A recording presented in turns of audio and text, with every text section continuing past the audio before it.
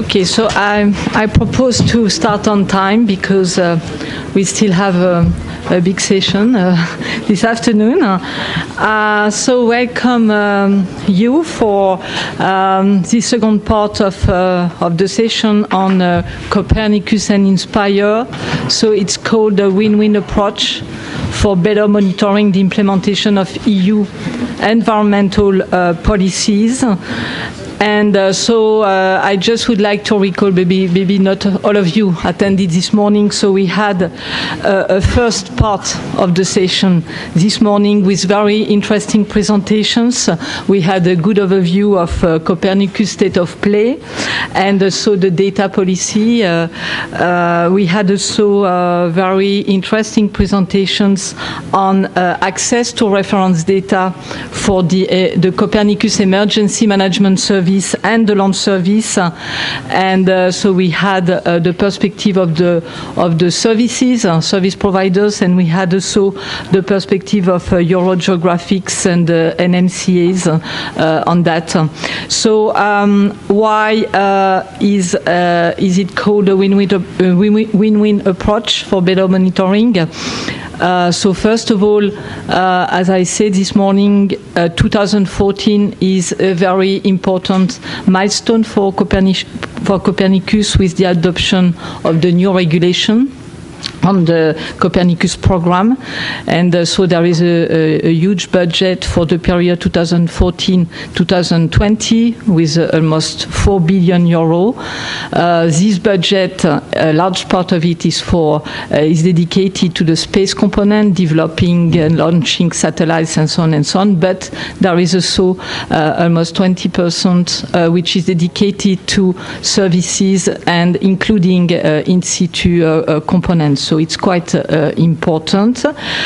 Um, for producing this added value uh, information, uh, space data are needed, but they need also to be combined with in situ data, and that's where we have also the link uh, with Inspire. This li link is, is essential because for producing added value, you need access to reference data, and as we discussed this morning, so the access to reference data is started to be implemented, so we have a lot of progress done, but still a lot of uh, challenges, uh, which were explained by uh, by the speakers this morning. So we'll continue uh, this afternoon, uh, and um, so the session this afternoon will be will encompass a presentation on the um, the atmosphere service. And so then we will have a presentation uh, of uh, MyOcean Marine Service. And um, then we will move back a little bit to uh, land monitoring with a presentation of the EAGLE uh, data model and HELM, which is the harmonized European land monitoring. Then uh, we, uh, we will have a presentation from a Danish representative on national perspective regarding regarding the link between Inspire and, Inspire and Copernicus and maybe the gaps to be bridged between the, the two communities. And then uh, the last presentation will be uh, on the evolution of the Copernicus ESA, which is the European Space Agency uh, coordinated data access system. So I will uh, give the floor directly uh, to um, Vincent Henri Peuch uh, from ECMWF, uh, who will present the Copernicus Atmosphere Service. So the floor is yours. Uh, Vincent Henri. And uh, what I suggest is to take the questions uh, at the end of the session, and if we have time to to have a, I mean, a round table, so we will uh, we will try to do it. Thank you. Thank you very much, Josiane, and thank you for giving me this opportunity to address uh, this uh, audience in, in, the context of the Inspire conference. Uh, the challenge that the atmosphere service uh, faces are, are, are, slightly different from the one that, are, that the land service, for instance, face, in a sense that uh, for a large part, the atmosphere service, the Copernicus atmosphere service, is uh, something which has been created with GMES in the past in the, in the different countries. There were existing information pieces, either based on observations observation or on modeling, and really bringing that together uh, is and, and developing uh, uh, added value services is, is to some extent a creation. So I'm the coordinator of the MACC2 FP7 program project, which is the precursor to the Copernicus Atmosphere Service. And I work for ECMWF, uh, which is an international organization in the field of meteorology. And uh, we are currently negotiating with the uh, European Commission a delegation agreement to operate this atmosphere service as well as the climate change service in the context of operations. So, as I knew uh, I was speaking in, in, in, the slot just after lunch, I, I, wanted to start with an example to give you a feel of what we do uh, uh, within the atmosphere service, or rather uh, how the what, what are the kind of uses that, that, the atmosphere service can can allow. So this is an example which is uh, very timely. Uh, we have a user. in that case, it's a Dutch Dutch institute, TNO, and TNO is doing some forecast, air quality forecast uh, for the benefit of the uh, World Football Cup. So they are delivering forecast of air quality over the different uh, places where matches take take place. sometimes it rains, as you've seen on TV, sometimes not. And uh, for some pollutants, there are some uh, degree of concern uh, about the level of air quality. So that's their, their, their mandate and their objective. And to do that, you can't just do a box over the stadium where you have football. You have to account for all the stuff that, that comes into this place. And this is where MACC uh, supports these activities. First, uh, you have lots of pollutants that are long-lived and that can travel uh, long distances. This is an example of carbon monoxide, which is uh, a pollutant emitted with all combustion processes. It's monitored uh, from space quite uh, quite nicely. And uh, one of the products of MACC is to deliver maps and forecast of, of carbon monoxide. So this gives you the inflow of gas phase pollutants. But there are also particles in the atmosphere, and this is showing you uh, how the uh, particles, in particular from, from the Sahara, can travel distances, uh, thousands of kilometers. And this is a, a, a case which is just uh, for yesterday, where you see this plume of dust from the Sahara going all the way to, to uh, Central uh, America. So this is also a, a product which is provided by MACC2. And last but not least, uh, MACC2 is using also uh, satellite information to derive emissions of pollutants from active fires. So all this feeds into the uh, modeling system of uh, TNO in that case to deliver this forecast. All these elements are something which is uh, very complex, very costly to set up, and, and surely the added value of, uh, of the service is to pull resources together at the European scale to allow for such, such applications. Thank you. So the, uh, the uh, thread of activities that have led us to the situation of the atmosphere service today is depicted here. Uh, just for the fun, I, I, show you the different logos of this GMES and Copernicus program, which is also sh showing the uh, balance of the program between a pure environmental monitoring program, which was uh, its first goal, to a program which now balances this uh, environmental monitoring aspect with a clear growth support and job creation objective. So we've had a, number, a series of uh, projects that have been ongoing to deliver the range of service we are operating today. And these projects have uh, been in close articulation with users. And on a very regular basis, we've been interacting with the users or potential users of the service to uh, develop uh, services that are useful for, for them. The way uh, the system works uh, is pretty simple. Uh, the first step is to acquire observation, a large range. I have a couple slides on that, uh, from satellite and from in situ. Uh, satellite data is not, on, not only the Sentinel data that uh, for, for the atmosphere will be launched in the future, but we have a host of uh, existing satellites. These observations are processed. They are combined with model uh, at the global scale. So this is a, a, global modeling system which is, uh, I can say, unique in the world. Uh, no other continent has a system of such of such complexity and quality developed. And this uh, global system delivers a number of products. I will come back to that, to that later. And also feeds boundary condition at the limit of uh, Europe to deliver uh, European air quality uh, products. And these products, in fact, are not a single realization because uh, air quality uh, requires assessment of uncertainty. And so what we deliver is based on a multimodal approach, which allows us not only to deliver a forecast, but also an, an, estimate of the uncertainty. And all this goes and is disseminated to a range of users.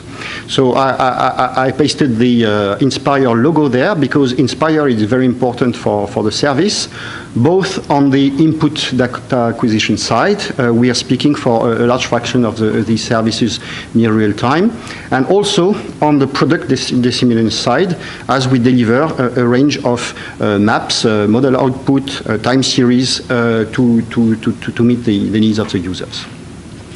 The, the challenge that we have in the atmosphere service uh, is that, uh, compared maybe to the geographic domain, we have a, a very uh, wide range of observing systems. Uh, so this is uh, depicted on this uh, slide. there are observations at the ground. So there I have the logo of EEA. EEA is coordinating the EIONET, and so the air quality monitoring observations done in the country flow through the EEA and to the service to allow us to have the observations at the surface of Europe for the main pollutants. But we uh, rely also on research network, for instance, uh, equipping commercial aircraft, balloons, uh, ground-based stations, boats, trains, and, and, of course uh, satellites. So we are dealing with a, a very heterogeneous range of, uh, of uh, observation sources.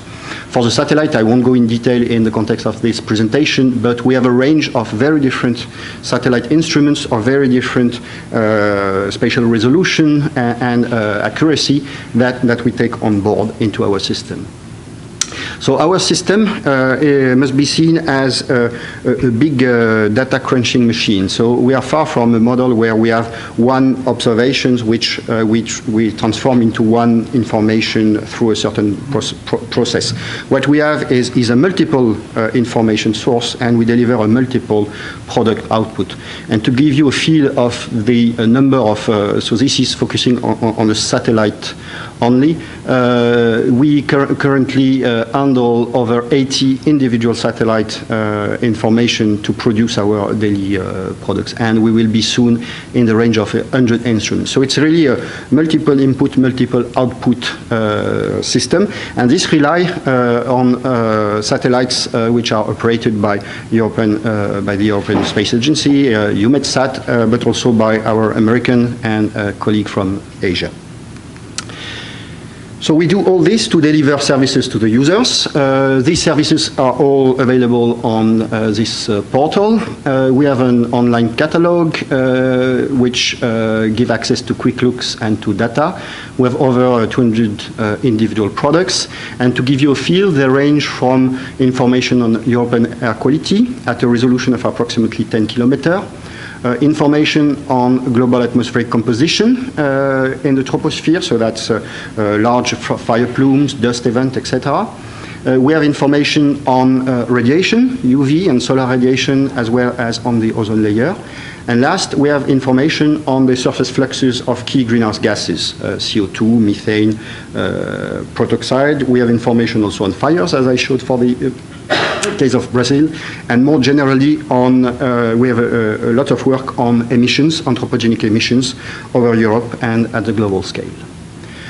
To give another example, uh, the, this is uh, an event which was which uh, had uh, quite some impact in, in, in, the UK in particular.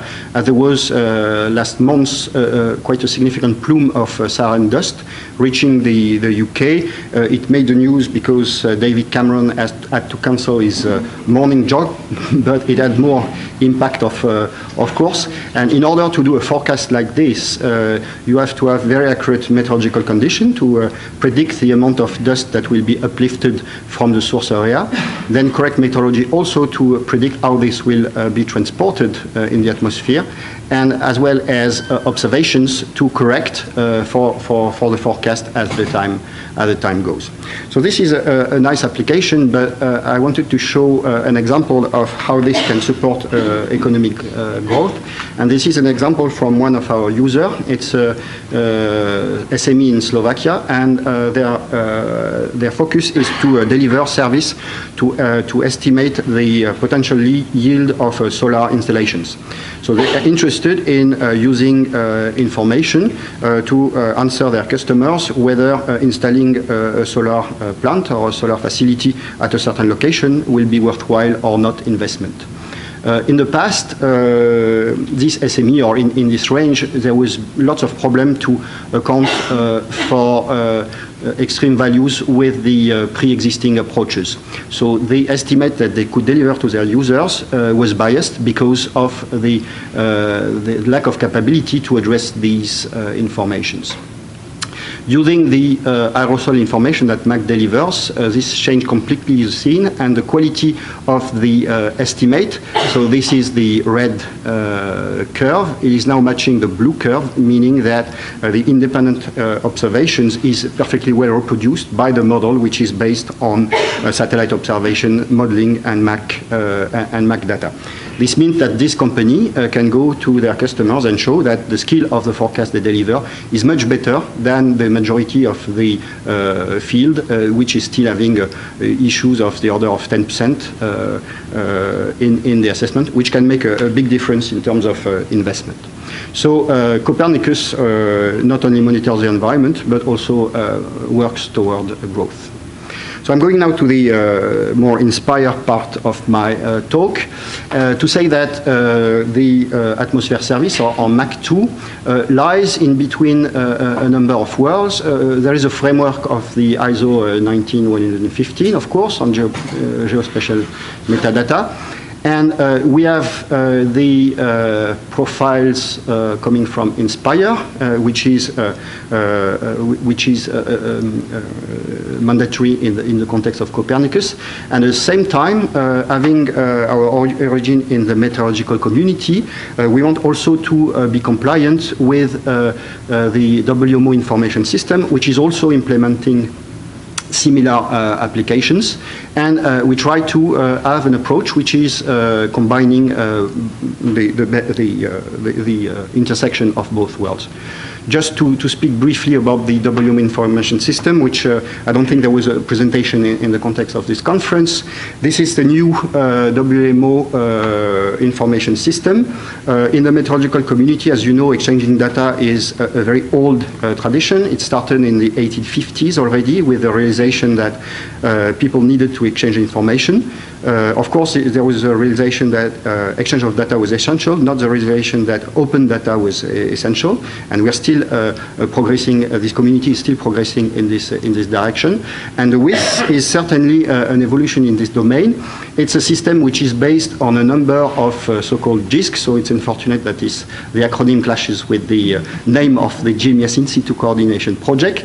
Here it's uh, global information system centers that all catalogs. Uh, these catalogs uh, are linked with uh, data center, uh, data collection and production centers, a number of national centers, and these are in articulation not only with the meteorological community but with the wider world. So the WIS is a, a system which is uh, open, and this is a big evolution compared to the to, to the existing system for, transmit, for transmitting data. So that's this uh, WIS is a big asset that, that we want to, uh, to use, uh, not to uh, reinvent the wheel, of course. At the same time, we want to implement uh, inspired principles uh, to deliver the services. So the metadata is, is an area where we've been working a lot in the last couple of years, and it solves the problem of interoperability that, that we have. I've given only two examples, but you see that the, the scope of the use of the data is very different and the skill of the user is very different. And, and our main concern in, in, in this uh, first phase, where Copernicus is not as known as it will be hopefully in uh, four or five years, is that it aids discovery, access, and retrieval. Uh, of course, metadata should not be added, uh, pasted onto the data, but really created along, along the, the, the path of uh, elaborating the, the data. So this is a principle that we've been elaborating. And the major challenge that we face in our field is that uh, we lack control vocabulary. So for many of our products, uh, we don't have the vocabulary to describe the metadata properly. So we can do things on our own in our uh, own context, but this is not very helpful. So we work at the global level to agree on defining uh, the needed vocabulary for, for things which are not existing. So this is actually uh, hard work. I will not go into detail. Uh, I have a number of colleagues in the context of the Atmosphere service who have been working, uh, uh putting the metadata together with the 200 plus services that we that we deliver. And this uh, allows uh, then to uh, test the data. So this is a result of tests that we do on the Inspire geoportal to, to check that our metadata is Inspire compliant. And this allows us also to start uh, disseminating uh, this data using the, uh, the WIS. And this is an example we have uh, tested with uh, 10 products that we have put uh, into, the, into the WIS system using the Global Information Center in, in, in, Exeter, run by the Met Office. So we included our, our metadata in this GISC and rapidly other GISC in the world, so the one of Meteo France in Toulouse and the one uh, of Australia in Melbourne, picked up uh, the information. And now, if you uh, go to, if a user goes to the, this uh, this uh, data center in Melbourne, it's very easy to get the MACC data just by including MACC. You get the product, and you have a direct link to the plots, to the data, and to the uh, WCS or WMS service layer of services that we have developed in, in, the service. So it's it, it, this work of of, uh, of uh, working on the metadata is now paying off uh, really because we have this global visibility. So uh, we have more tools, of course, to, to access this data. And I come to my slide of, uh, of conclusion. Uh, so what the Atmosphere Service and MACC 2, the pilot service delivers is a, a, range of products on the regional and global scale. And we are in readiness for the operation phase. Uh, expected to start in, in, in, one year of time. Uh, this is really uh, a, a, European. This has really a European dimension. Uh, there is a, a number, uh, a dozen of uh, data provider of providers of the services, which we make, which we make transparent to the user, except it's clearly indicated in the metadata, of course. So we we've built a distributed service provision chain from the acquisition of observations to the delivery of the services. Uh, the uh, Copernicus data policy, uh, as was mentioned in, in, the first part of the session this morning, is full, open, and free. And uh, what we observe uh, is that the number of our registered users is now of the order of a few thousands. So it's not yet big numbers, given that we have a global audience. This is a map of where our users are, are from, so it's pretty global. So it's a few thousands, and with, I would say, a couple hundred who are accessing routinely information and data. Routinely means on a daily basis. So our power, power users, and this is growing fast. So the fact that we have to comply with Inspire uh, was first taken on board, uh, was taken from the start, but uh, I, I, would say uh, rather as a constraint uh, to, brought to the, to the system. But now, as I said, it is paying off as the uh, data exchanges, volume variety, really reach maturity, and, and now we cannot afford to do handicraft or ad hoc solutions to ship information to our users or to, to, to, to acquire observations from a host of observations. So many uh, challenges uh, have been addressed, uh, are, are, still ongoing in the context of Copernicus. we address the question of data variety, questions specifically of near real-time data transmission, and this lack of control vocabulary. Some aspects are transverse, and there the EEA has played a, a key role and will continue to play a key role uh, uh, in, in, Copernicus. And some aspects are specific and, and, and thus addressed in, in the service. And the last thing is that the, the service has really a, a, global dimension, and so that's why uh, using the WMO information system is, really uh, instrumental to provide us the infrastructure to reach uh, users uh, at the other side of the, of the earth. Thank you very much.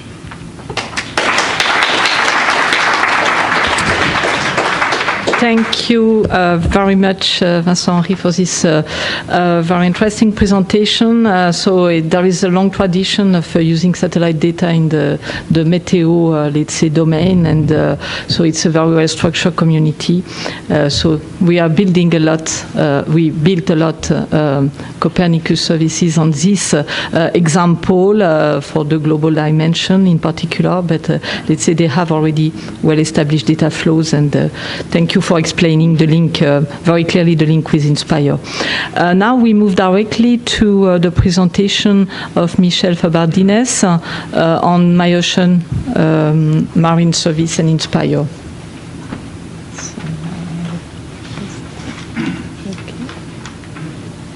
Oh, sorry. Good afternoon. I'm Michèle Fabardine, and I belong to the MyOcean project management team. So MyOcean uh, is an integrated architecture system, and so at the very beginning, we have to face with the question of interoperability, standardization methods, and implemented standard interfaces. And so uh, now with uh, Inspire, we, we can do that in a global way with uh, all the community. So MyOcean and MyOcean 2 projects are the precursors of the Copernic- Copernicus Marine Service main component. Uh, since uh, 2009, uh, they, they provide an access, free and open, to the ocean monitoring and forecasting information to the users, and it is based on a system of system concept. So, um, a quick overview of, uh, of the history of MyOcean. So it started on in 2009 as an FP7 uh, project uh, to set up a European integrated system and open the service to the users. Now, since uh, 2012, um, MyOcean 2 project uh, uh, take uh, the the floor and to develop and improve the service. Uh, MyOcean 2 project will end um, in September 2009, uh, two, sorry, two, 2014. It means that the project will end before the operational marine service will start.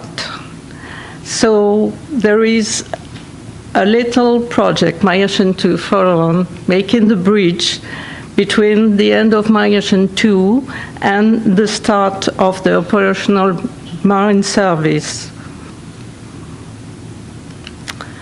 So MyOcean, MyOcean, it is 59 partners all around Europe using space data and in situ data models, operational change, organized as a service team, and connected together in a single pan-European system. 59 partners, 14 main operators, and 12 production centers, organized in four thematic assembly centers dealing with observation for sea level, ocean color, temperature, ice and wind, and in and seven monitoring and forecasting centers for models for the seven areas, six regional areas, and global ocean.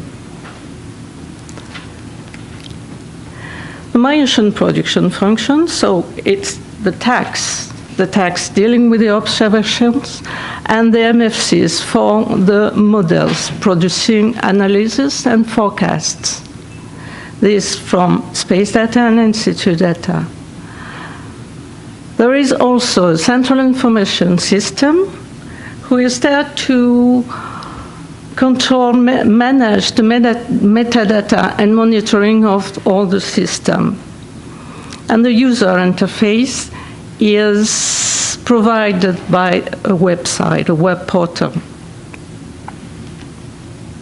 So this is really an integrated system at the system level, service level, but also service process level.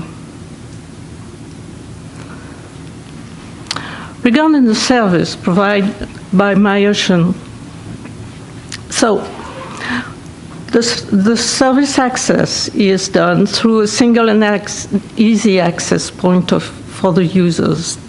This web portal provide access to discover through the catalog, open and free, the search, the view, and the download services. There is also a specific team for the user support, the service desk. The catalog of product, MyOcean catalog of product, today is 124 products. It's about uh, 500 datasets dealing with currents, temperatures, salinity, surface wind, sea level, sea ice, biogeochemistry, and provided analysis, re reanalysis in real time forecast. This for, as I said before, seven areas. MyOcean users since the beginning. There is an increasing number of my of users. 1,200 in April 2012 and more than 3,400 in February of this year. And this in 87 different countries. This with a fair repartition in application areas for marine and coastal environment, climate, seasonal weather forecasting, marine resources, and marine safety. And as you can see, half of the users are coming from university and research. MyOcean and Inspire as I said, it's a story from the beginning, even uh, when Inspire was not uh, Inspire. So this MyOcean is linked to these points of the Annex 1 and Annex 3. Regarding the implementing rule, metadata and data specifications are fully compliant with INSPIRES and meet the ISO standards. The metadata are, are accessed uh, through the MyOcean catalog and uh, all the data are in NetCDF format. This is commonly implemented all over MyOcean. The network services implemented search and discover, view, and download. The discovery service. No authentication is requested. It's the CSW interface specifications are met. And um, recently, we um, we implement a cache for the, on the catalog browser to improve the, um, the performances.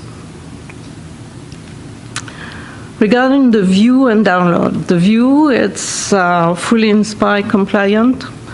No authentication is requested. Regarding the download, here, there is a specificity. The download uh, is available for registered user.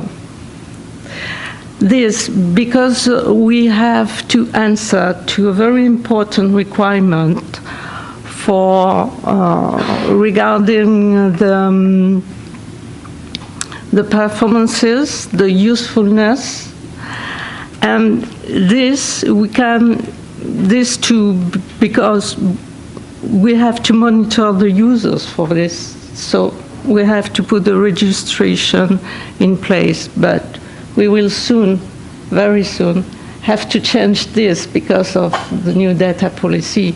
And we are dealing with a compromise to still uh, monitor users to provide uh, the the good report into EC because it was uh, requested, but also uh, to uh, be compliant with the new data policy. So this is a, little challenge for us now. Regarding performances, uh, uh, for this point, we have to admit that there is a very strong constraint performances for such um, uh, a system as, as MyOcean distributed because we rely a lot on the subsystem capacities. And so uh, it's difficult uh, to, hard to reach and hard to test because the condition for testing, for example, testing uh, uh, 10 times per hour, it's uh, for a pre-operational system as MyOcean, it's very heavy for the system. So we may test or performance test it, but we adapt. We adapt to the conditions, and for example, we make one check every hour instead of uh, 10 per hour. And the performance tests at uh, today are only done on the WMS only, which is anyway one of the most demanding interfaces in terms of quality of service. And um, we implemented also performance monitoring tool, but only on the view and get capability as a first step. Capacity capacity is not done yet. To, because it, it has uh, really an impact on operational users. This is um, an overview of the last uh, performance test campaign we made. And so as you can see, uh, we are quite good, even if the condition is uh, we adapted them. Um, and that's all for me. Thank you. I tried to be quick. Thank you. Thank you very much. So it was very clear again. And uh, so um, I move now to, uh, so I, as I said, we come back a little bit to the land uh, uh service, and we will have now the presentation by Stephan Arnold on EAGLE data model and uh, Helm harmonized European land monitoring. Thank you.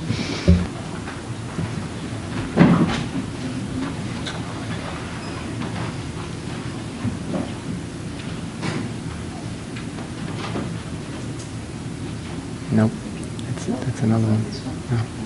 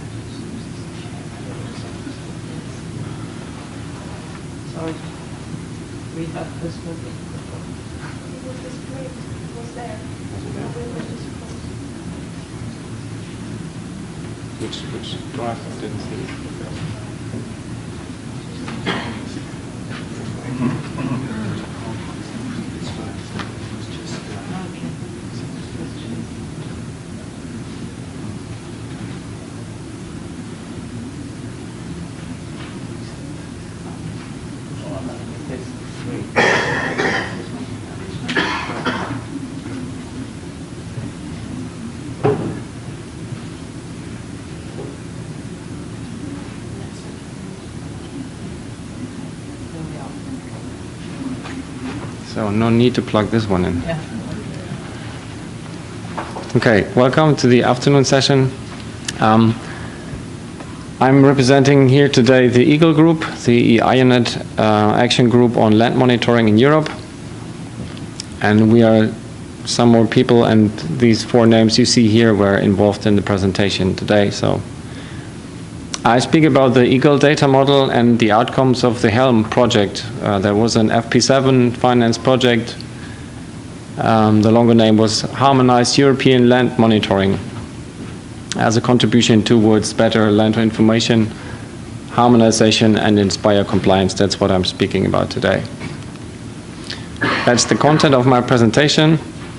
And briefly, I speak about the given situation of land monitoring and how we classify landscape. Then uh, I speak about some criteria that a data model should fulfill. Um, then jump into the Eagle concept and explain some uh, details about it and its structure of the data model. Then uh, say something about further steps and future perspectives, and in the end conclude with the Helm roadmap or an extraction of that. So, um, some words about how we were setting up classification systems to describe landscape. Um, there are a lots of um, applications of land cover and land use information. So many classification systems arose from that process. And um, did I jump a slide maybe? I don't know. No. Um, so the, the, the, reason why there is so many classification systems is uh, that we focus on different aspects on land cover or land use that uh, um, data collection methods are varying from each other. We work on different scales. Um, it's a tailored to purpose definition of classes, so not every classification system can answer the question of another application.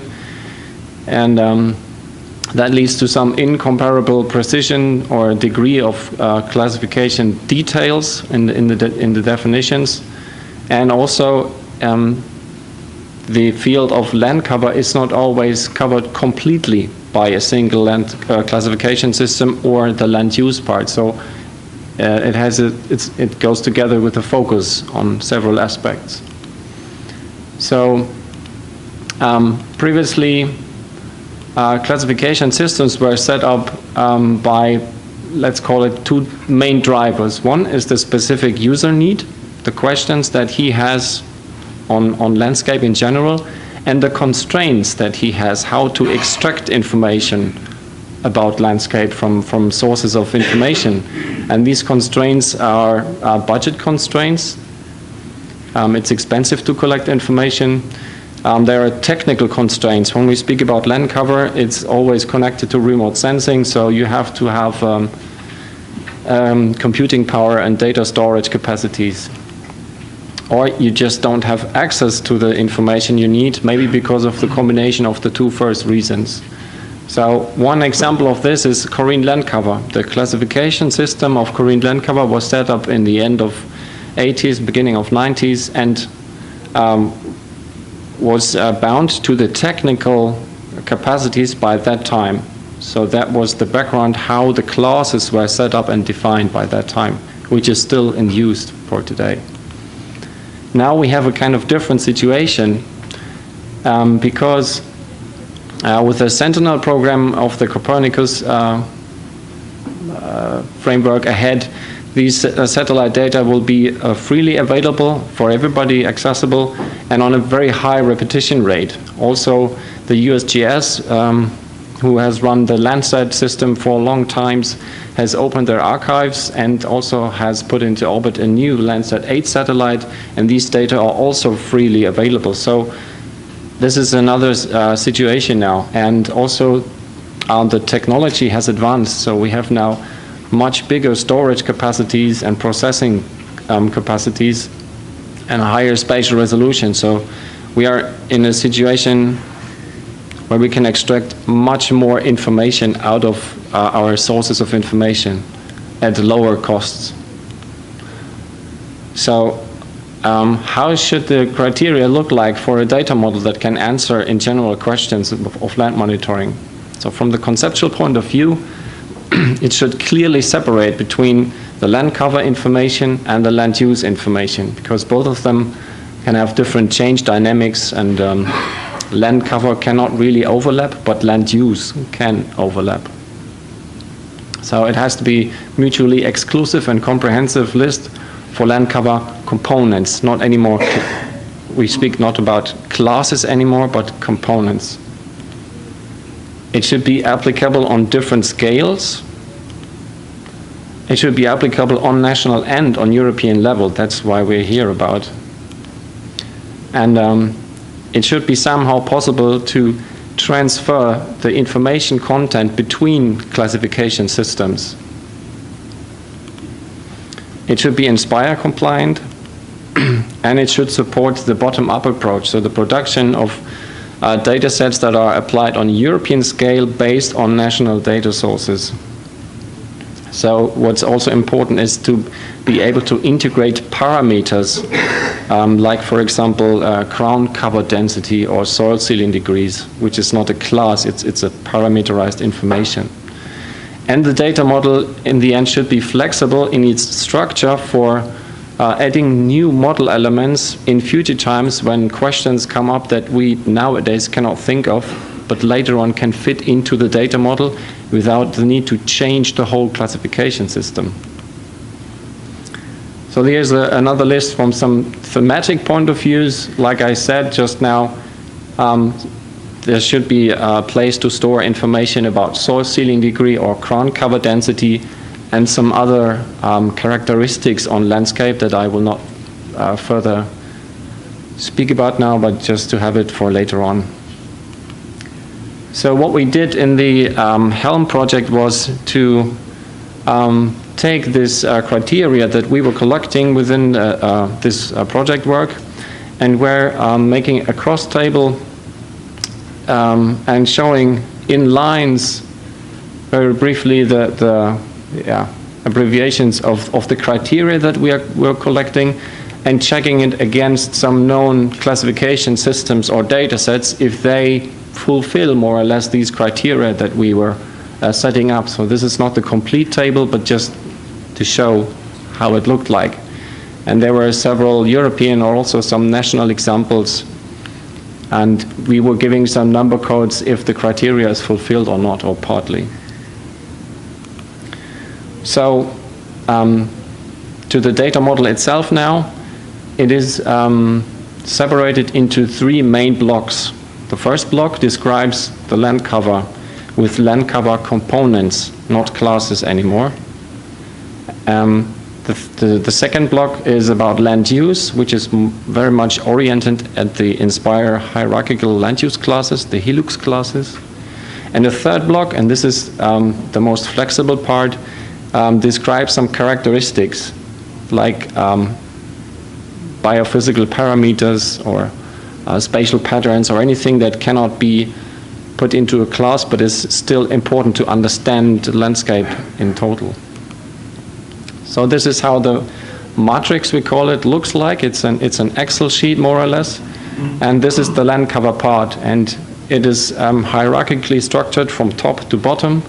And you see uh, on the top three main categories. It's abiotic, um, land cover components, vegetation, and water surfaces. And they are further separated into artificial surfaces and natural material surfaces, and so on. Likewise, on the vegetation part, you have woody vegetation, trees, shrubs, bushes, then, then grasses here. So the components itself, you can find them here at the bottom line. These are the components mainly. So you will not find something like mixed forest in here because mixed forest is not a land cover component, it's a class and it is combined by using um, coniferous trees and broadleaf trees, just to give you one example. The second block of the matrix is the land use information. This is also an extraction. It's much wider normally, but it would, it would not fit on the screen here. So it is oriented uh, on the um, economic sectors um, and that's very much similar to the um, HILUCS classes um, with the primary production sector, um, secondary or industry, service, um, tertiary sector, and so on. So here you find agriculture, forestry, nothing like cropland or something like this. Or further down here, there's residential use. The third block of the matrix are then now the um, characteristics that further can describe landscape. So this is just um, more or less logically compiled. We have some land management characteristics like cultivation patterns or cultivation measures, irrigation, fertilization, and so on. Or spatial patterns, uh, built-up patterns, do I have single blocks or street blocks or big skyscrapers? Or also some uh, other information about ecosystem types. And that's something you are probably very familiar with, like something like wetlands or um, semi-desertic uh, landscapes. You can find it here. It's not a land cover class anymore in that sense, but a way how to describe landscape. And it's taken out of the land cover block and put here inside the characteristic block. Or status, for example, burned areas or damaged. So you can describe the, the condition of a piece of land. And this is the how it looks like in total, the entire matrix. Here you have the land cover block. I explained to you with the abiotic, the vegetation and the water part. Um, purple color, the land use block, and the yellow color, the characteristics block. And what you can do now with this matrix is um, to put it against uh, the classes of a classification system. Here it's the CORINE land cover classes. Don't try to read it. And you can fill in, if you brought your opera glasses, maybe you can. So you can take one class and go through the line and tick mark all land cover elements that are supposed to be inside this class by definition and tick mark the land uses that are connected to that class and also tick mark the characteristics that are, that are relevant for this class. And that's how you go through line by line.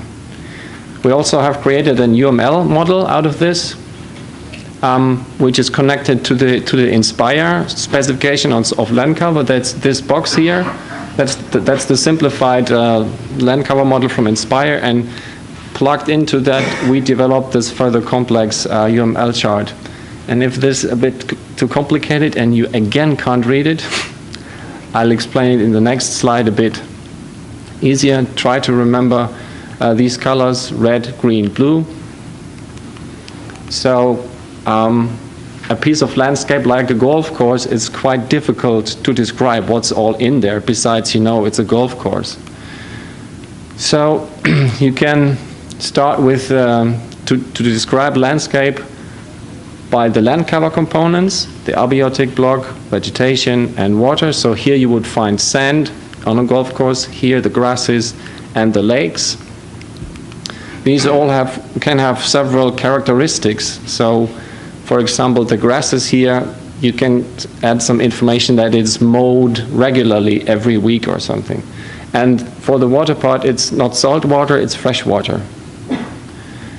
And they um, compose together a, a, land cover unit. In this case, the golf course is the land cover unit, and the golf course can also have its own characteristics.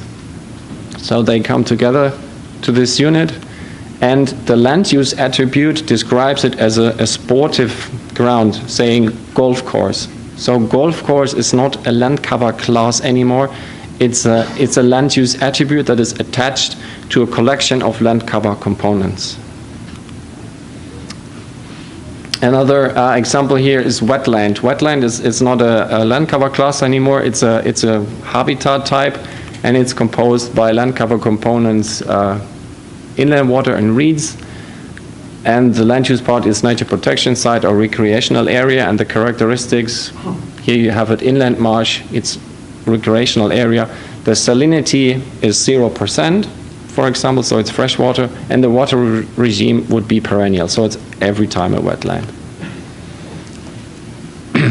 I can explain it on another um, example of the village. I'll jump over it now because time is a bit ad advanced already. Also, land cover components, buildings, herbaceous plants, land use, residential, and so on. And the key message, message here, like an intermediate facet, is that the Eagle matrix uh, wants to be uh, function wants to function as a semantic translation tool between classification systems, and for um, semantic analysis of inconsistencies, meaning gaps and overlaps uh, within or between classes, and the Eagle model can also be used as a conceptual basis for a future European land monitoring system when you, when you start to map landscape. So it is not another classification system, but a more, more descriptive vehicle for the harmonization of this information. So what is Helm now? Helm, as I said, was an FP7 project uh, from 2011 to 2013, three years. Uh, the participants were mainly authorities and experts in the field of land monitoring from 17 European countries. And the two main objectives were to collect best practices of land monitoring and uh, to create a roadmap towards a harmonized European land monitoring. So the outcome of these considerations were um, looked like this, um, a framework scheme when you want to come from, from the national and subnational level to the European level and derive data from national sources, you need something that matches in between as an intermediate level, and that's where we see the Eagle concept with the matrix and the data model, where everybody can describe his own data as a data producer using the componential description and then translate um, this information in the Eagle concept or in the data model into the nomenclature of other classification systems that are used on a, a European level. This also functions from one side to the other on a national level, of course. And as I said already, it's very close to the INSPIRE specification, so it's compliant to the land cover and the land use specifications so far. So um, what are the preconditions um, to implement this? Uh, we need a full and continuous user consultation process for national, from national to European level. The uh, existence of European stakeholders who takes the lead in national counterparts, so somebody has to draw responsible in a way to steer this whole process. What's important is a sustainable funding mechanism and legal framework that member states know in advance for their own planning how to react on this um, further steps. We should orient ourselves on the open data policy and long-term planning pave then the way for short-term actions. So some technical and scientific matters, they have to be um, solved, but it's, it's not this major problem. I'll jump over this. So the Helm roadmap um, concludes like this. Um, the production of pan-European data sets uh, should be based on nationally produced land monitoring data to ensure quality and compatibility of the data as well as source efficiency. The users are most effectively uh, by being evolved through continuous collaboration and participation process. And there should be a balance between European level harmonizations and the autonomy of member states must be preserved in this process. And having said that, the Copernicus program, the document provides a quite good platform to put uh, the Helm concept into action. It is mentioned on two, uh, two places in the document that the Eagle data model and the Helm should be further developed and supported. And the Horizon 2020 program provides a good framework for funding for further development towards an implementation of the Helm roadmap. What's needed here is a precise call that, that we as the land monitoring community can react on. So you can find further informations on a booklet that um, was produced. It looks like this. That's also the cover. And here you see um, with very beautiful pictures inside um, the, the, the, the, main outcomes of the tasks that were tackled inside the, um, the project. And it will be also put as a PDF file online on the website of the project. So on behalf of uh, the whole continent, I say thanks for your attention.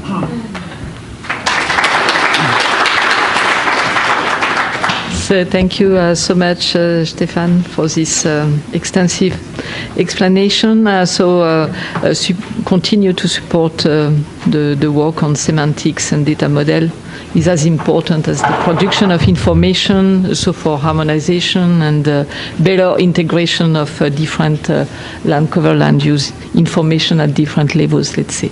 So now let's move quickly to the presentation of the national perspective by Olav Eggers.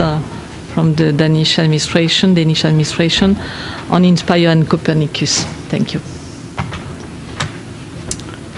Thank you very much, Josiane, for, for this opportunity. I hope And good afternoon, Okay. everyone. I think we have the presentation available. I just think me, I need, oh, here it is. Yeah. Yes, okay. Well, first of all, I'm Olav Eggers from the Danish um, Geodata Agency. So uh, I've been invited to, uh, to give this uh, view. It's more a policy view than the.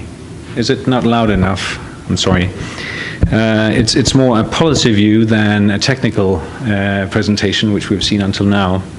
Um, just to give you the context, I mean, it's always interesting to see the different perspectives or views you have on an issue depending on where you're sitting. Um, and the, the place we're coming from um, is uh, uh, an agency which has uh, a wide range of, of uh, responsibilities, uh, which in the, in the field of um, geodesy, mapping, nautical charting, cadastre, and last but not least, infrastructure. Um, we have, as of last year, a mission um, to ensure that data provides as much benefit to society as possible. This is kind of a higher level approach than we've had previously within the mapping agency.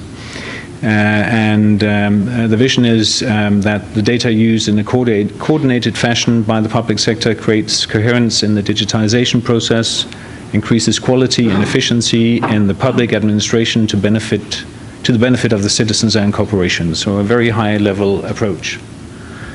The ones of you who were here yesterday morning saw the presentation of the Ministry of Finance of Denmark uh, and, and heard how um, the Geodata Agency has been um, uh, involved in, uh, in the um, e-government initiative for, for Denmark and closely in the development of one of the streams for good basic data for everyone. Um, there's been very strong influences on in the technical area, but also in the policy area from from the Inspire side. So these basic data we're talking about on a conceptual uh, and soon realized level in Denmark um, are mandatory to be used. Um, they have to have the right quality for the main applications. Uh, there is a clear responsibility for keeping the ba basic data valid and up to date, and they have to be semantically coherent. So this is uh, the, the, basic setup, um, and it's in a very nice flow with uh, our uh, infrastructure model, which we've been using for the last 10 years in Denmark at least. So back, that was uh, where we're coming from, so to say, uh, and and now this uh, might be a slightly dramatic drawing, and maybe, and I don't think this is the present state of business, but just to set the scene that there might be some gaps at least. Um, a little bit of history first, because um, uh, maybe the reason why we were invited to speak today was that we were quite engaged back in the geo regulation times. Uh, and were influencing strongly the regulation to include um, uh, the member state reference data, the Inspire investments, um, and also doing so by directly communicating with the Commission during the, pro uh, the process. Um, the outcome, uh, not only of the efforts uh, of uh, Denmark, but obviously of all the European member states, uh, was um, that um, the uh, Copernicus regulation does uh, acknowledge and also does align to um, the INSPIRE principles. Inspire already had a, a, preamble stating that there will be some benefits um, for, for other community initiatives. Uh, and uh, now the present, uh, as of April, um, Copernicus regulation states that Copernicus data should be compliant with member state spatial reference data, as well as implementing rules and technical guidelines of INSPIRE. So everything basically should be okay. Um, if you look at it closer, obviously these are two completely different programs with different goals and and and aims, and and um, some of the issues, if you look at uh, try to analyze why there's not 100% alignment, obviously stem from the different steering mechanisms in these very different programs, um, the sector influence, Um, very different sectors involved, as you've seen in the other presentations in Copernicus. It's more a closed party within Inspire. Um, the time perspective is definitely a, a, big factor. We've seen that in the morning in the presentations. Um, the stakeholder communities, again, are very different. Um, and there's also a financial uh, difference in the approach. Uh, there's a budget behind the regulation, and um, the directive only has, let's say, the, the member state funding, more or less. So this gives you a clash of, uh, of approaches. Um, you could say uh, top-down versus bottom-up. We've seen that during the presentations here. Uh, it's, it's quite obvious that everybody acknowledges that there is something about this. Um, there's also something, we've seen that earlier in other presentations, about short and long-term gains and goals. Um, there's something, an issue regarding the, um, uh, the, the, rapid need of, of seamless data and, and the more long-term uh, look to benefits of integrating NSDIs into an ESDI. And, and there's also um, the sector issue on, on a wish to stimulate industry versus uh, data for monitoring the environment. If we just take one of these issues, uh, we also saw something like this uh, this morning. Um, uh, the Inspire implementation roadmap obviously gives us uh, a, a, a, slight issue uh, regarding uh, delivery of harmonized data for all of Europe within a very short time period. We're talking about, let's see if I can get this here, 2017 for Annex 1 and 2020 for, for many of the countries for Annex uh, 2 and 3. And uh, forgive me for using this very simple way of uh, superimposing the Copernicus uh, time uh, table, but uh, it's more or less aligned. and and the, oh, we need to go back. Thing you can see is that obviously a lot of the services are to be in in full production by 2015. And obviously, uh, by 2015, we uh, do not have a lot of Inspire uh, Annex 1 and partly Annex 2 data, not at all, probably. So that is an issue. Um, if we look at the regulation text, uh, this is a continuation of the uh, text how it landed during the very heavy negotiations uh, in 2010 for the GEO regulation. Uh, it states that um, these at, um, at that uh, Copernicus needs to integrate at European level existing space in situ and reference data and capacities in member states. And then obviously there is this uh, thing about avoiding duplication, which is, has been addressed also this morning. Um, but you can duplicate, so to say, if you want to read it that way, if, uh, if the, um, the use of existing upgradable data sets is not technically, technically feasible, cost effective, or possible in a timely manner. So how, I mean, what does that give us? What kind of issues does that give us? Well, from an implementation point of view, the way I, I read it, uh, uh, in the Copernicus Reference Data Access Initiative, uh, um, which is now being um, run by, by the EEA, it's been done with the so-called dual track approach. Um, trying to get hold of as many data as possible um, and at the same time uh, um, uh, using and improving uh, existing data sets and, and uh, doing some gap filling so, so that is, let's say, the approach to, to overcome this issue. If we look at the uh, very uh, practical um, um, implementation for 2014, um, as far as I can see uh, from the uh, work plan in 14, uh, there's something, there's an action regarding a road network. That's one of the actions. Um, uh, with uh, where there is a use of um, uh, national road databases with a so-called gap filling um, procedure. And then there is something which I can probably get an explanation from the EEA about. Uh, there's uh, also a mentioning of the uh, EU Hydro update, which is also contained in in a call um, for tender issued by the EEA.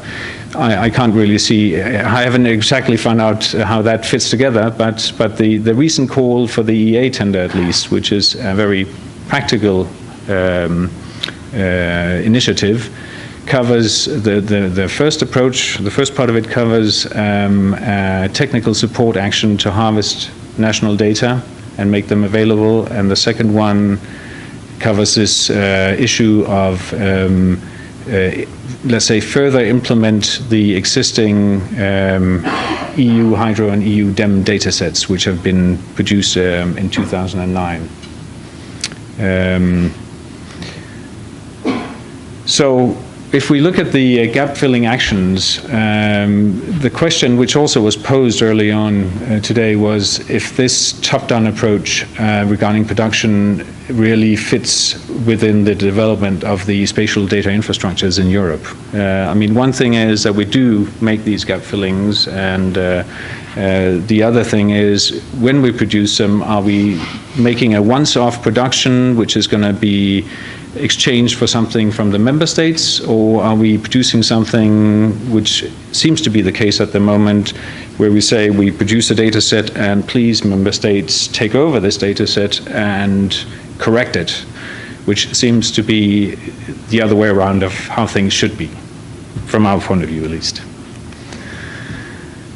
Um, we believe, obviously, that these infrastructure principles should be um, followed. Um, the collection of data only once is a very main principle. Uh, that is an issue which we should discuss directly about uh, because obviously there's a need for gap filling, but maybe things could be developed between the Commission, EEA, and the Member States in a different way if we discuss it before the tenders arrive. Uh, and the other thing is that we um, should discuss about the maintenance issues beforehand, before these tenders go out. Um, it's, it's, it's quite a surprise when you are left with a data set to, to update which doesn't stem from your national reference databases. So one of the things, just to touch on, on, on a couple of, of, of, solutions maybe, is um, the ELF, which has been um, presented earlier today and also yesterday uh, with the launch. And um, as, as we see it, the ELF could be uh, one of the solutions, at least, or platform for a solution. It uh, delivers and collects um, data from all kinds of um, European reference databases, and it, it repairs some of the, uh, let's say, some of the issues within Inspire. Um, so, so this could be a platform uh, to solve some of the uh, needs of Copernicus. And this then leads to the question, which we might discuss later on, if the, the CORDA, uh, the Coordinated Reference Data Access, um, which was this lot one, which has been sent out for tender, if this is something which um, can build on, uh, on the ELF infrastructure, or if it's a new parallel infra infrastructure thing. That would be very interesting, I think, for the uh, Inspire community to, uh, to understand. So the question, is there a, a common path uh, for Inspire and Copernicus? Um, uh, obviously, uh, I don't think there's a choice. they, both programs are running, and obviously there is something. Um, what we see is we'd like to uh, to have, let's say, a new approach to it. Um, uh, the top-down approach we would like to avoid and maybe there's a need to do some of these gap fillings, but uh, maybe not through a top-down approach, but maybe through negotiations and discussions between member states and the Commission and EEA. This will minimize the um, duplication of efforts. Um, we need um, the infrastructure to uh, build on Inspire and the NSDIs, and um, we also need um, the quality uh, and uh, coherence between these gap filling productions and the member state data for things not to be a duplication of work. So, do we need to set up something, a big, a big animal, uh, uh, to discuss this? Uh, this is a very complex uh, setup to negotiate things logically abandoned. Uh, no, it's a lot more simple as we see it. Um, we just need to sit down basically uh, before the tenders arrive and discuss options and possibilities. We can then uh, coordinate developments, um, uh, we could maybe underpin the cross-program governance, which we see as pretty weak between Inspire and Copernicus. And we would like a partnership approach. Um, and that would then uh, provide as much benefit to the society as possible as we see it. So thank you very much.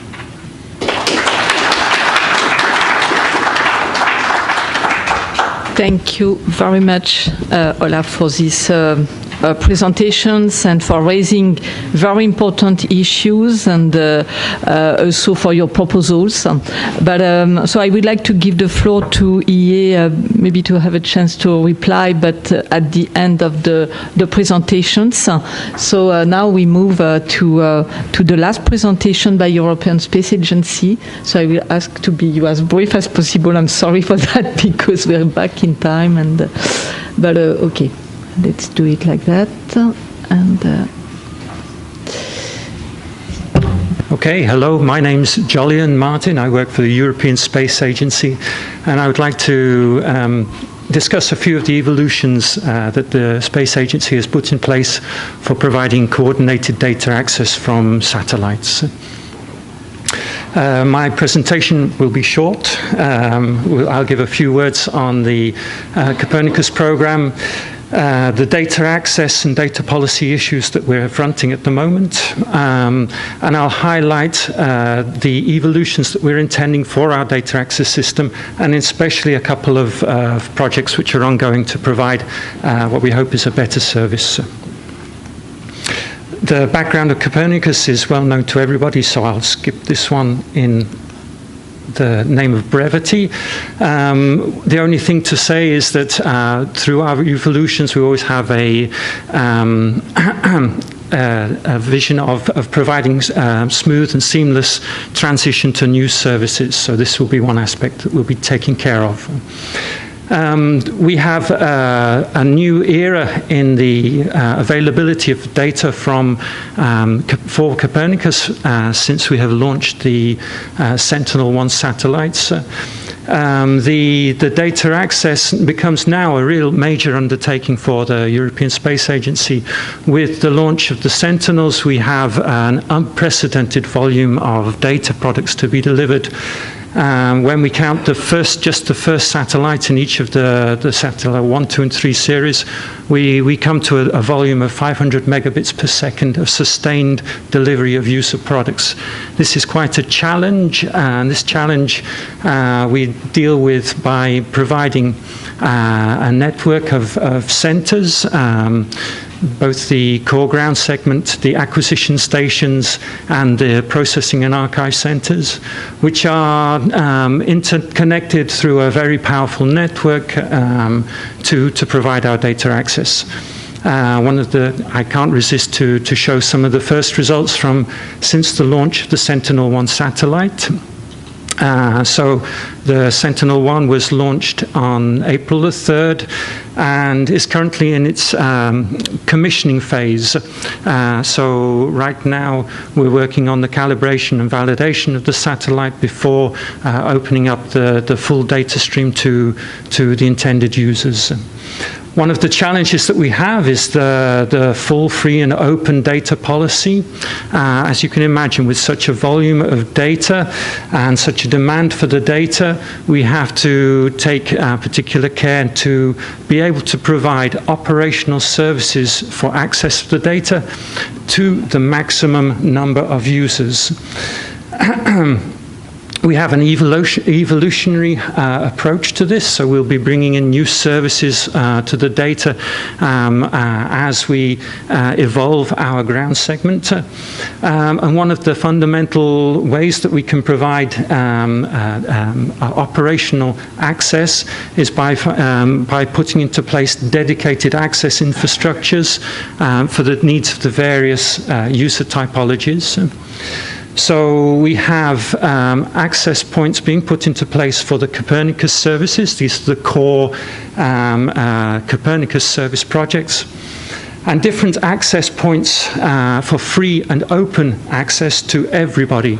We have also um, uh, specific arrangements for international agreements, access for international agreements, and finally, uh, what we call collaborative access um, for the uh, national member states to um, the, the ESA national member states to, to obtain access to Sentinel data. This is done through a number of infrastructures and a number of um, uh, facilities like international mirrors, national mirrors, etc. Uh, on top of the uh, infrastructures, we provide a common uh, charter of services um, uh, which are available to uh, all users um, the, the list here, I will go through quickly. The registration, discovery, view, and download uh, are probably well known to everybody. We also have to put into place bulk dissemination services for uh, large volume of data. In certain cases, we uh, still have to provide um, enormous quantities of data for reprocessing, and this may be done by physical media, although we're more and more putting into place um, uh, dedicated uh, hubs, mirror sites for um, uh, further onward dissemination. Um, the, the, full set of services that ESA provides includes the emergency service, so still the collection of data from not only the sentinels but also the, the contributing missions for the emergency services. We have offline mapping services which allow people to request ad hoc data, uh, again, from the complementary um, uh, contributing missions. And we have uh, further help desk and, uh, and are putting incrementally into place these uh, hosted processing services as well. Um, so a quick summary. Um, at the moment, or up to the launch of Sentinel-1, we've been providing data from uh, over um, uh, 12 different uh, entities um, uh, with over 40 um, uh, space missions. And uh, since the um, launch of the Sentinels, we now have a dedicated infrastructure for, for um, uh, Copernicus as well. This these data flows are coordinated through our coordinated data access system, uh, which manages the, the necessary uh, ordering and um, coordination of the data with the, the, the, the, the responsible for the missions and also the, the necessary reporting to the Commission and the, the flow of the, of the data to the, to the Copernicus users. Um, so currently, uh, we've been in operation since uh, 2008. Um, uh, we've been providing um, massive data sets um, as well as ad hoc uh, small orders for the, um, uh, the European Union's uh, Copernicus projects. Um, and you've seen many of those being referenced earlier in the presentations today. Um, to do this, we have a number of tools. Um, oops. Uh, these tools include advertising portals, quota management systems, user management systems, centralized catalog and download services. Um, behind the scenes, we have uh, quality assurance tools, uh, specific um, uh, uh, mechanisms put in place for the emergency satellite tasking, as well as um, uh, facilities for monitoring the, um, the collection of data for the large European coverages. All these provide statistics and reporting as necessary for, for, the, um, for, the, for the overall management of the, of the enterprise. Um, uh, some words about the evolutions that we're putting in place. So um, we're now developing our third version of the Coordinated Data Access System, the CDS system. Um, and this will see the integration of the sentinels and a massive increase in the data volume which can be disseminated. Uh, in order to prepare for this, we have a number of projects being put into place, one of which is the next generation of Earth observation user services, something called ngEO, and I'll go in a little bit more detail in this. Uh, a data hub service for the mirroring and further, two minutes, whoa. Uh, okay. Um, Okay, so we're taking aboard as well the Inspire uh, principles and um, uh, um, uh, into into our developments. So the ngEO project very quickly um, provides for a, uh, new um, user interface, uh, which will provide um, discovery, view, and download using OGC standards. Um, so I have some uh, screenshots, so the usual ser- um, catalog search and discovery, uh, providing um, uh, download capabilities via a, a, dedicated download manager, and also uh, the web, usual web mapping services for the overlay of the, the browse imagery. I wanted to spend uh, um, so this is coming soon with the commissioning of the Sentinel-1 satellite. I wanted to spend a few words on the Sentinel Data Hub, which is something that we have now available. This is uh, the system that's going to provide uh, free and open access to anybody.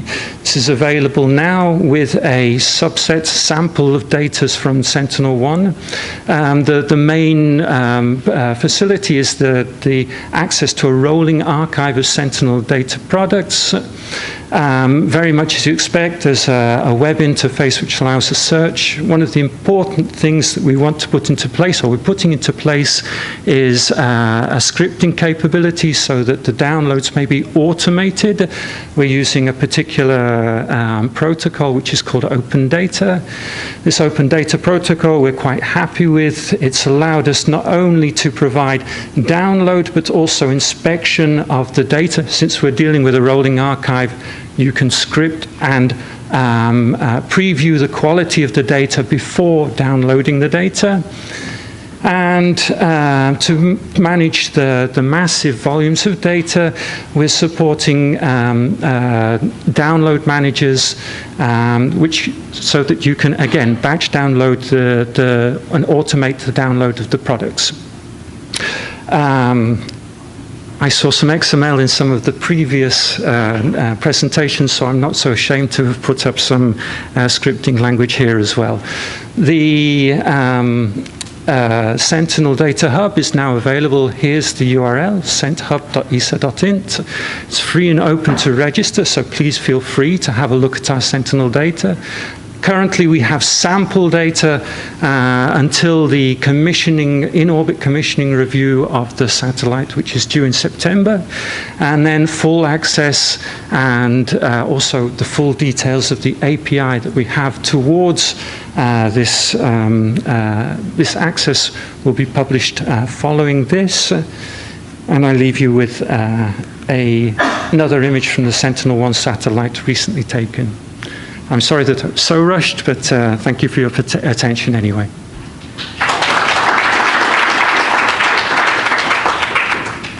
Thank you very much. Thank you uh, for this presentation, and sorry for pushing you a little bit uh, to uh, to do quickly. But um, uh, so, if we want to have some time for, for discussion, so we're still uh, uh, behind the schedule, and um, um, so I would like to to have the opportunity of Chris Steenmans from European Agency, who was supposed to arrive this morning, is here this afternoon, and I would like to give him the floor because Uh, probably has something to to say uh, uh, on the basis of the presentation made by Olav and other presentation. Thanks, thanks, Josiane. And, and, my apologies, it was not the, the spatial data infrastructure, but the transport infrastructure that sometimes still has its hiccups after so many years of development. So, um, very quickly, a few comments uh, to, to, to, avoid any misunderstanding about uh, what might have been put forward here to, to the audience about what I would call how we interpret now the Copernicus regulation. And there I want first of all to make clear is there is no we have exactly the same vision as the word stays in the regulation. So there is no hidden agenda or whatever. Uh, I hope that, uh, that we all can work into the same direction with, with the best intention. However, what we need to know, and if you read the regulation, is we are dealing with operational services. And there is always one problem that we know, timing is against us. And I leave the costs aside. But for me it's about timing. We need to deliver. There's a strict timing, so what, is, what we want is to implement the regulation as it states, where we want to do it bottom up use all the national investments that are done. We will not, we are against top-down. We do not want any long, sustainable top-down solutions to implement. I hope this is clear. But what does it mean in practice is that to run an operational service, and that relates to uh, the elements that were mentioned when it comes to reference data access about transport, about hydrography, about administrative boundaries or whatever, you need to have a solution on the table. And there in some cases we have to work out temporary solutions. So what, you, what is labeled very often as top-down at this moment on reference data is temporary solutions. We do not want to maintain this data at long term. Inspire, hopefully, will replace this kind of access to reference data. So that is the whole philosophy behind it. And in that sense, we are very, we, we really would like to hope, indeed, what, you, what was mentioned, I think, by Olav, to improve the governance. How do we deal with that? And that's indeed, I think, there you pointed on the weakness, at the current weakness between the Inspire implementation and what will now happen with the Copernicus implementation. And there also I have my concerns. And that is something where I hope that these conferences, we will have uh, the new governance structures for, for Copernicus, which are now being set up, uh, including a user forum with whatever expert groups or how it will work. That I think is that's where we will have to focus on. But and I, I, I can also speak there not, not on behalf of the European Commission, but at least we, where we take on board a number of delegated tasks, we are fully aligned with the, the vision that you put forward and even in line with what you nicely presented also of the, the mission even of the Danish uh, Ge uh, Geodetic Agency, yeah, is that as much as the mission, as much benefit to the society as possible. That is exactly what we are also aiming for. So I think there we are on the same line. Um, there is indeed some conversion still needed. The example that was given on, uh, I think the example of, of Corda, so this system similar to what ESA set up was CDS, we call it Corda, okay, for the Copernicus services. Um, ELF, absolutely, please, hurry up, we need it. That is, that, is the kind of message that we want to give. So in that sense, we, we do not want to develop any duplication or a similar system parallel, not at all. That's not what we want for. We need operational systems. And that's also why, as part of the delegated task, luckily we can have a quite significant budget available to make use of the Inspire services. We know, and that's also what we will, you will see appearing in the call for tenders, the first, I, I would say till 2016, 2017, it will not be impressive. But we will invest, if I recall correctly, two to three million to make sure that Inspire services made available by the countries are used as input to Copernicus services. And we hope that by 2020, I hope that 100% of the reference data can be connected to Inspire services. But let's see how far we can get. Olav, you mentioned uh, some, I mean, recommendations or uh, proposals for better coordinating with uh, uh member states and MCAs, and uh, uh, so um, probably you you you have some some ideas for putting in place. But in operational terms, how do you see this cooperation? Because, as said by by one of the speakers this morning, coordination needs time. I think it was Eurogeographics. And uh, so there are some players at European level, EE, Eurogeographics, and then NMCAs. And uh, how do you do you see the, the development of, uh, let's say, a, a, more integrated approach towards uh, an improvement of uh, access to reference data at national and European level?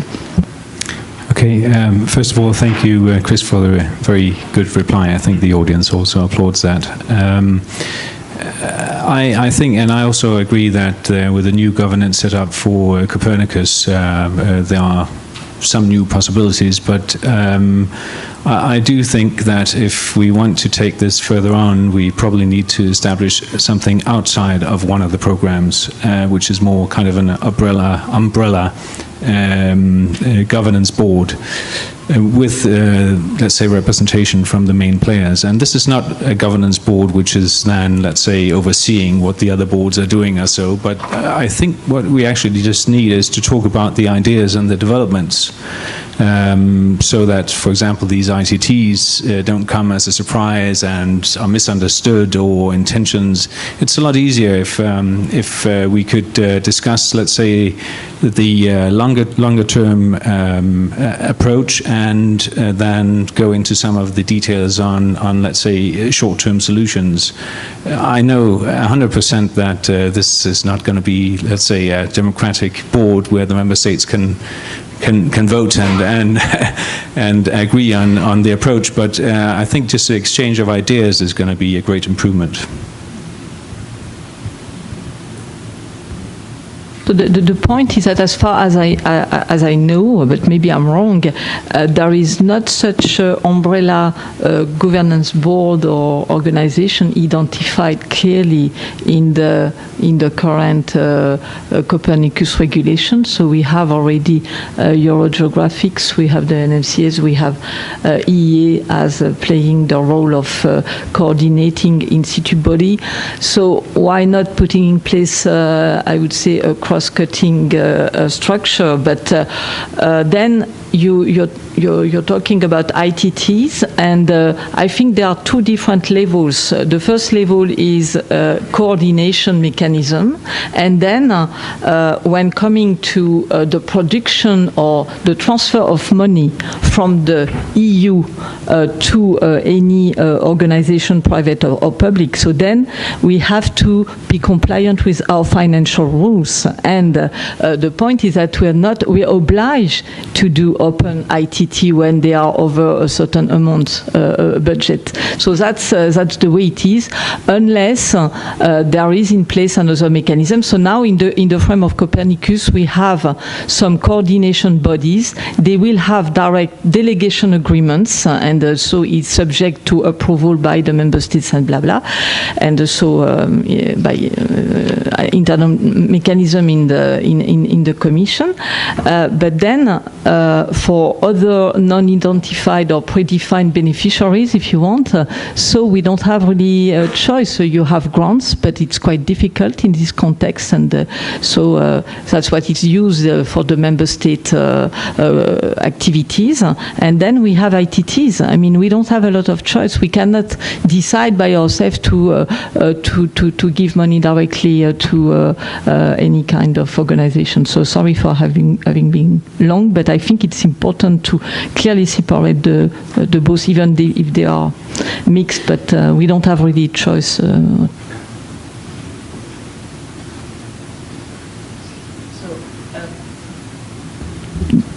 anybody wants to uh, add on top of that or to ask uh, other questions or reactions? Yeah.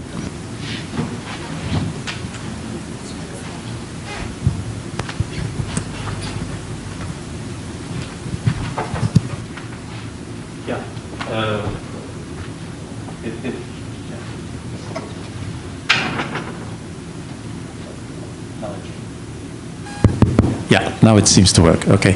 Uh, it, it, will probably not surprise you, Olav, that uh, I have a comment on, on your presentation.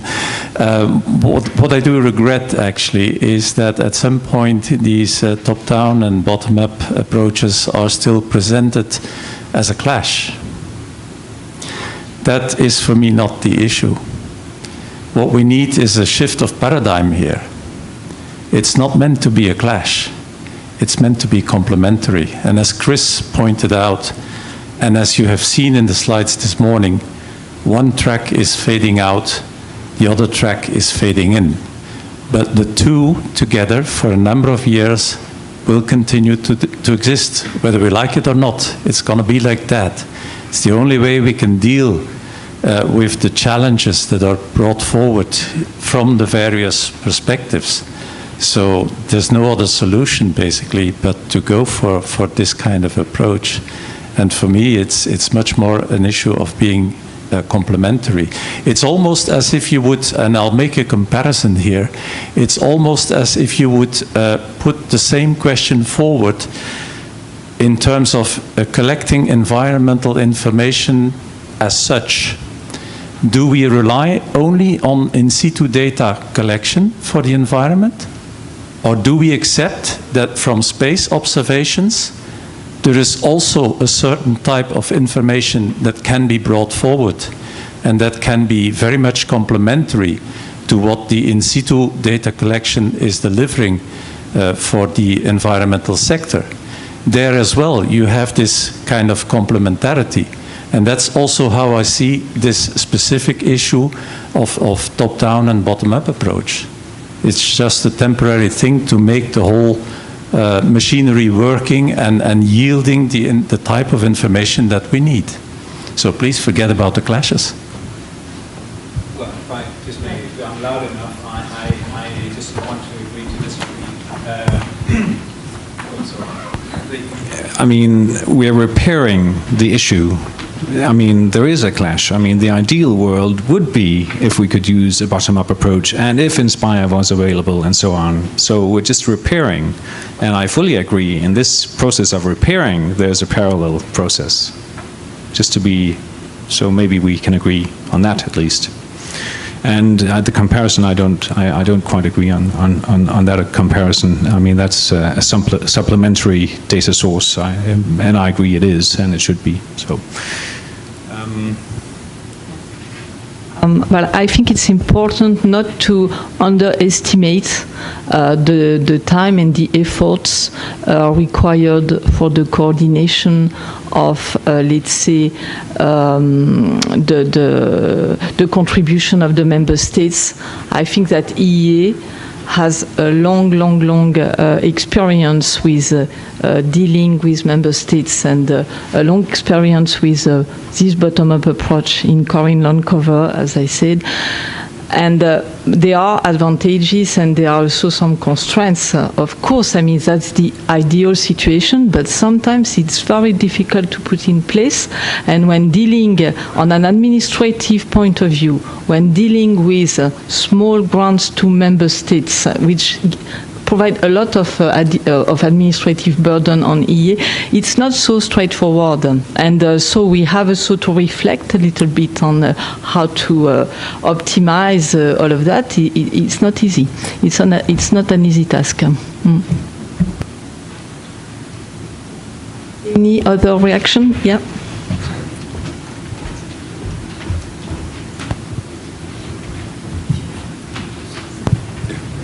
Torben Hansen from the Danish Geo Agency.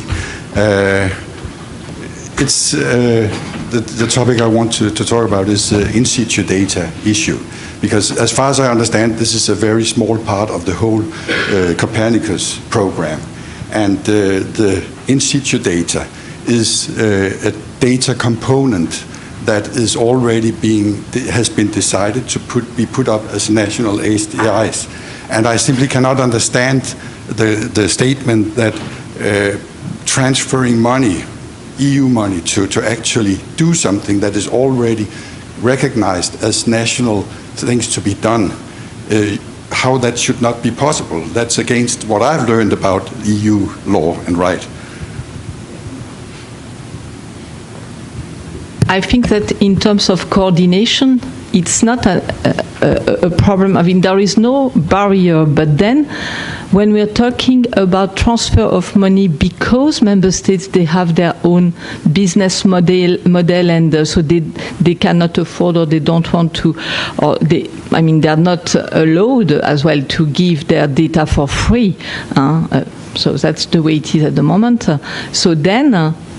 Comes the, the, the uh, let's say some ad hoc solution and agreements or whatever, or we have to purchase the data uh, on one way or the other. That's the reality we face. So maybe when Inspire will be fully implemented, we don't we not have this problem anymore. I, I don't know, but I, I I don't have this. I don't have the impression that it will solve really the issue of uh, various and heterogeneous data policies, and uh, so that's not the case for all countries. But that's uh, okay. So.